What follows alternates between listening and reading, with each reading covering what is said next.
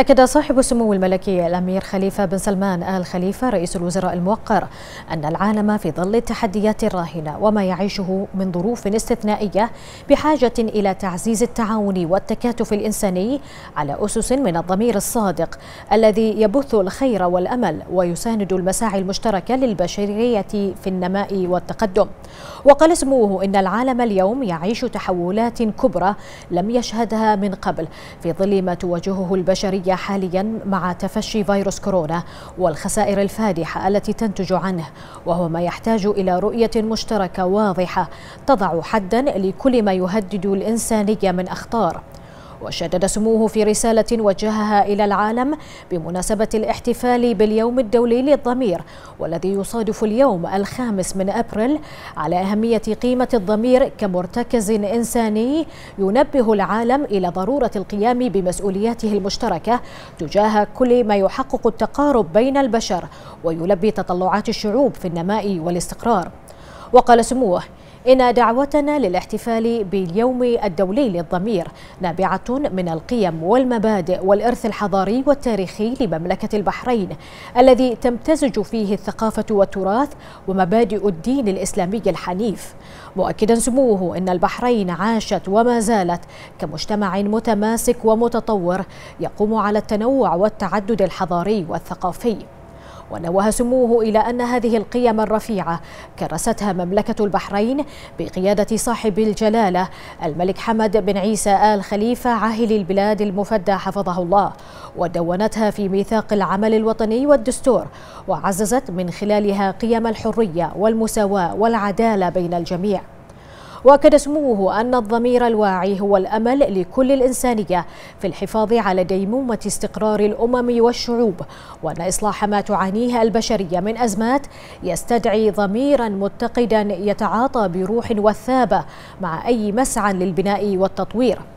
وقال سموه إن الضمير المطمئن والصادق هو من يستطيع أن ينتصر للحق ويلهم الإنسانية في معالجتها لأزمات الفقر والأوبئة والسلام المستدام. وأكد سموه أننا أمام مسؤولية كبرى تجاه مستقبل العالم.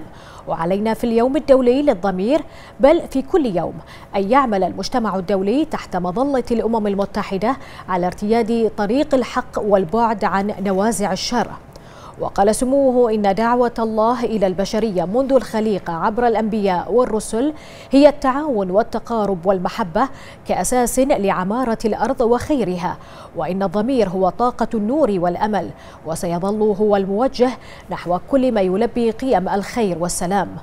وشدد سموه على أهمية أن تتلاقى الضمائر الإنسانية في وحدة وانسجام من أجل عالم قوامه التعاون والعدل والمساواة واحترام كرامة البشر.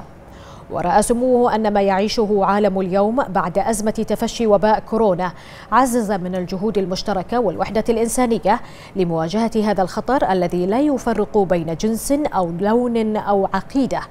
وقال سموه إن العالم اليوم بحاجة إلى وضع استراتيجيات جديدة تعزز من مفهوم الأمن الصحي العالمي باعتباره جزءا لا ينفصل عن الأمن في مفهومه الشامل. وأكد سموه أن الدروس المستفادة من هذه الأزمة هو أن العولمة بمفهومها التقليدي القائم على السيطرة والتبعية لم يعد لها مكان فالعالم اليوم يشهد ما يمكن أن يطلق عليه العولمة الإنسانية. ونوه سموه إلى أن مملكة البحرين اتخذت خطوات عملية مدروسة. وضعت المواطن في المنزلة التي, منزلة التي يستحقها من رعاية وعناية لتؤكد بذلك على نهجها الراسخ في إعطاء الأولوية للمواطن وكل ما يحفظ لأفراد المجتمع أمنهم المعيشي والصحي. وأكد سموه في ختام رسالته أن مملكة البحرين حريصة كل الحرص من خلال مبادرة اليوم الدولي للضمير على تقديم رسالتها الحضارية إلى العالم بأنها دولة سلام وتشارك بإسهام واضح في كل جهد دولي يرمي إلى تقدم الإنسانية ويحقق الأمن الدائم والسلام المستقر.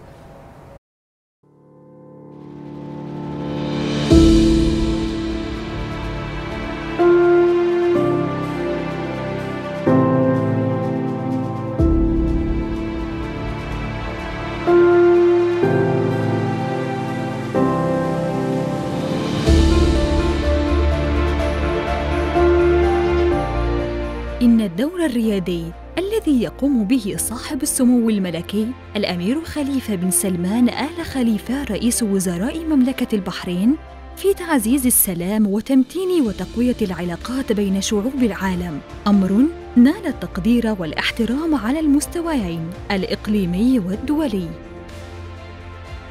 لقد استطاع صاحب السمو الملكي رئيس الوزراء بقيادته الرشيدة تأكيد أن جهود حكومة البحرين موجهة نحو تحقيق أعلى أهداف التنمية لشعبها وتركيز اهتمامها بتعزيز مبادئ إنشاء حركة احتفاء بثقافة السلام والتفاهم العالمي بغض النظر عن اللون أو العرق أو العقيدة حيث تتوافق جميع الشعوب في شتى أنحاء العالم على بذل الجهود من أجل الحفاظ على حق الجميع في الحصول على بيئة صحية وأسلوب حياة آمن وسلمي.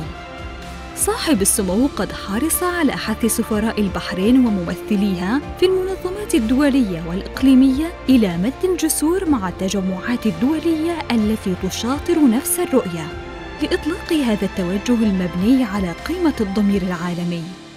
وقال صاحب السمو رئيس الوزراء في رسالة للعالم عند تدشين يوم الضمير الدولي في أبريل 2019 هناك حاجة ملحة لجميع الناس أن يتحدوا من أجل تعزيز الجهود للحفاظ على حق الجميع في العيش في سلام وتناغم وفي بيئة آمنة ومستقرة. تدعم التنمية وتعزز رفاهية البشرية مع الحرص في الوقت نفسه على المحافظة على قدرة المجتمع الدولي في دعم استمرارية الحياة البشرية والبيئة الطبيعية.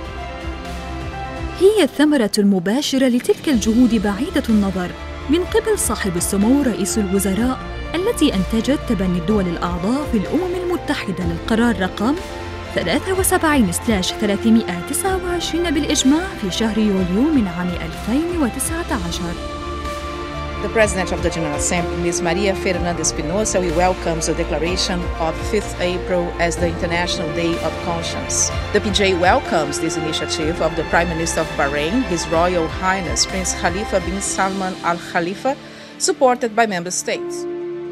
وبعد إعلان الأمم المتحدة رسمياً عن اعتماد مبادرة سموه لليوم الدولي للضمير تلقى صاحب السمو الملكي رئيس الوزراء العديد من رسائل التهنئة من السفراء المقيمين بالبحرين ومن السيد أنطونيو غوتيريس الأمين العام للأمم المتحدة الذي رحب بجهود سموه على صعيد تعزيز السلام والازدهار من خلال إعلان اليوم الدولي للضمير.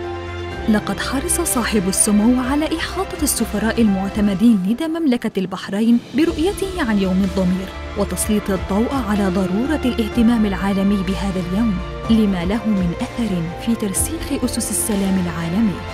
وقال سموه بهذه المناسبة أن شعوب العالم لديها إرادة قوية في أن تجعل من الضمير العالمي أحد المرتكزات الأساسية الكفيلة بدفع مسيرة العمل الجماعي الدولي نحو عالم أكثر أمناً وسلاماً واستقراراً.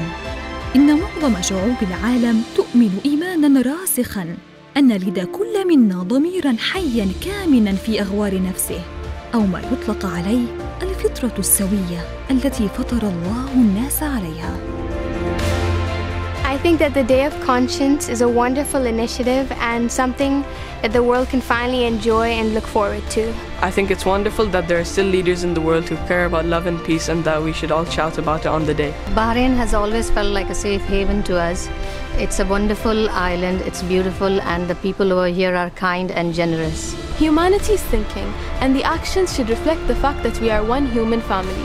On the Day of Conscience, we should all join together and demonstrate that. With consciousness comes ethics, motivation, and principles. So, on the Day of Consciousness, I hope that we see many more people adopt these principles as well. A virus is infecting the entire world, and this virus knows no national boundaries, so why do countries insist on acting selfishly? The Day of Conscience is a chance to change that, for all the countries to unify their efforts and act as one. إن اليوم الدولي للضمير يمثل فرصة سانحة لكل المتطلعين إلى مشاركة صاحب السمو الملكي رئيس الوزراء ومملكة البحرين وشعوب العالم في مساعيهم التي تهدف إلى جعل الضمير العالمي حجر الأساس على صعيد العمل الجماعي في التقدم نحو بناء ثقافة سلام عالمية أساسها المحبة والضمير.